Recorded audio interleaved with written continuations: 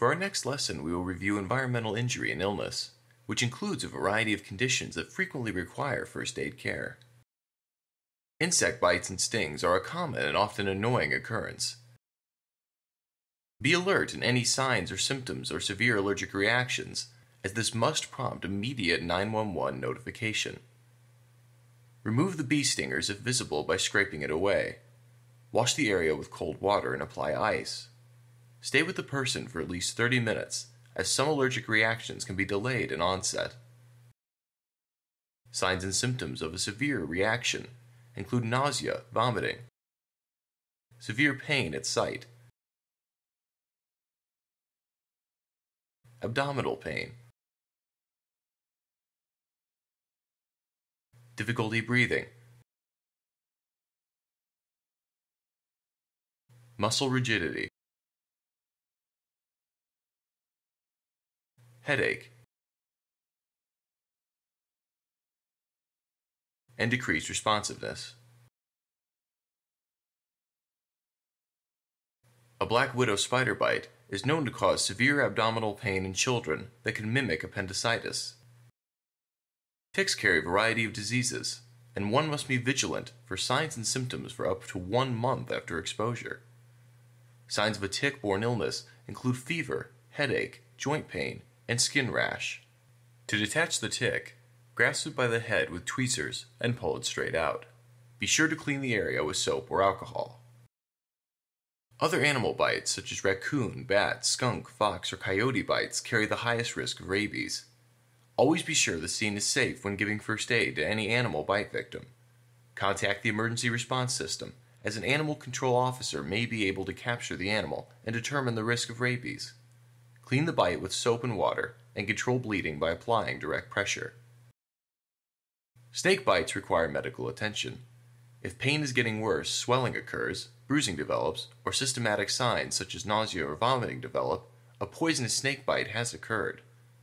Call 911 and do not delay medical attention after making sure the scene is safe. Keep the person calm. Avoid moving extremities. Remove constricting clothing and jewelry, and gently wash with soap and water. Heat related illness can occur due to extremes of temperatures, particularly in the elderly and during vigorous exercise. Illnesses include heat cramps, heat exhaustion, and heat stroke. Heat cramps cause painful muscle spasms of the extremities, sweating, and headaches. Resolve symptoms by resting, cooling off, and drinking water. Light stretching and massage can also help. Heat exhaustion is more serious, and signs include dizziness, vomiting, muscle cramps, fatigue, increased sweating, and lightheadedness. Move the person immediately to a cooler environment have the victim lie down, and remove as much clothing as possible. Spray with cool water or use a wet cloth and a fan if available, and encourage them to drink water or a sports drink. Heat stroke is life threatening, and immediate action is required. Signs and symptoms of a heat stroke include confusion, loss of consciousness, dizziness, muscle cramps, vomiting, and seizures. Call 911 immediately. Take the following actions when treating a victim with heat stroke. Assess the scene safety, wear protective equipment, and obtain a first aid kit and AED. Use a spray bottle with cold water and fan if available. If the victim is able, encourage them to drink water, a sports drink, or electrolyte solution. Continue to cool the victim until his or her behavior returns to normal or advanced help arrives. Exposure to the UV radiation from sunlight can result in sunburn, Sunburn can be minor or result in blistering and sloughing of the skin. Avoidance of additional sun exposure is key. Encourage hydration and drinking of extra fluids. Topical aloe vera can provide symptomatic relief. If not allergic, ibuprofen can also alleviate some discomfort. Exposure to the cold can result in frostbite and is most common in extremities such as fingers, ears, nose, and toes. Wind chill increases the risk of frostbite. In severe frostbite cases, ice crystals form in tissues and destroy cells, causing permanent damage. The skin will appear waxy and white or yellow gray. The area will be cold and numb and may feel like a block of wood. The tissue will be firm and will not move or compress easily when squeezed. Take the following actions to provide first aid for frostbite.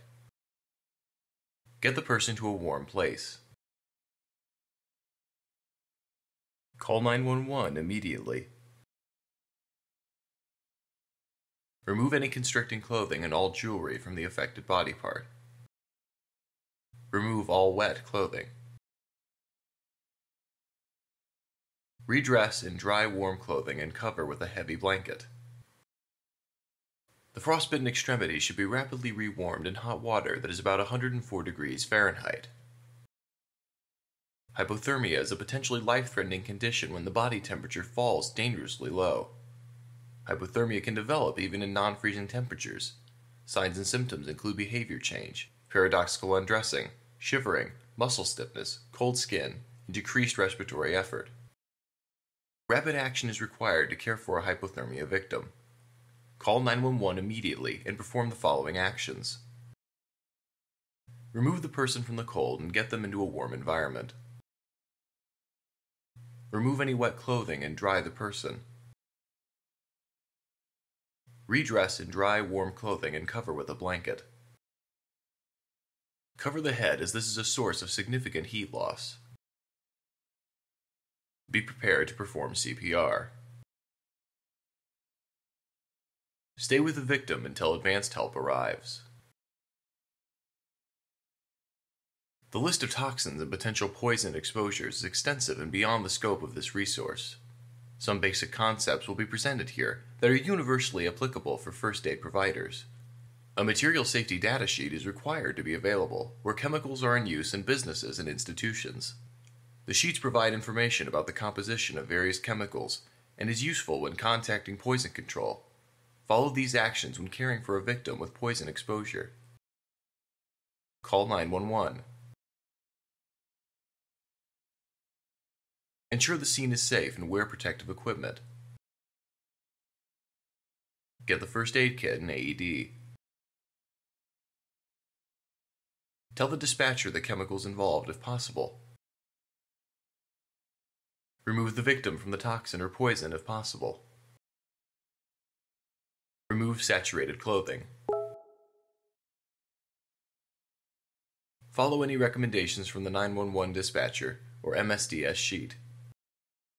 Stay with the victims until advanced help arrives. If CPR is required, ensure a mask is used if possible. That concludes the environmental injuries lesson.